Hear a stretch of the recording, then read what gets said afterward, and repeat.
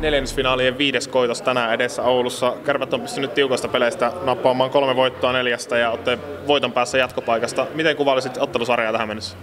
No, aika tasainen on ollut, niin kuin numeroiden valossa on näyttänytkin, että pieniä marginaaleja, että mutta niin esimerkiksi edellinen peli, niin mun mielestä meillä oli hyvä kärsivällisyys, kärsivällisyys ja sitä kautta ehkä saatiin se lopulta ne maalit tehtyä.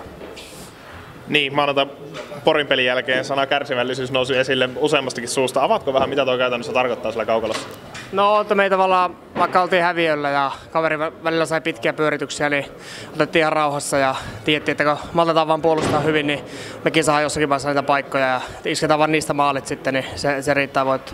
Pelit ollut tiukkoja ja voitot on ratkennut lopulta aika pieniä asioihin. Oikeastaan ainoa isompi notkahus on se ensimmäinen peli Porissa, jossa aika shokeraava alku. Minkälaiset asiat on sun mielestä noussut ratkaisevaksi tekijäksi näissä ottelussa?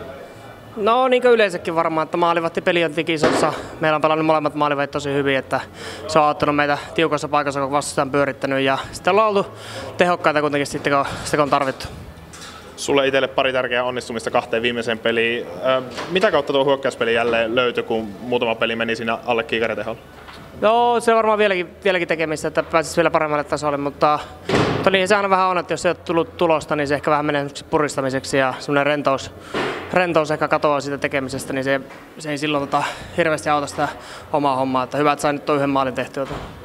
Semifinaalit voiton päässä, katkon paikka kotiin. Minkälainen asetelma tuo on pelaajan näkökulmasta, kun kiekko tänään tippuu jää?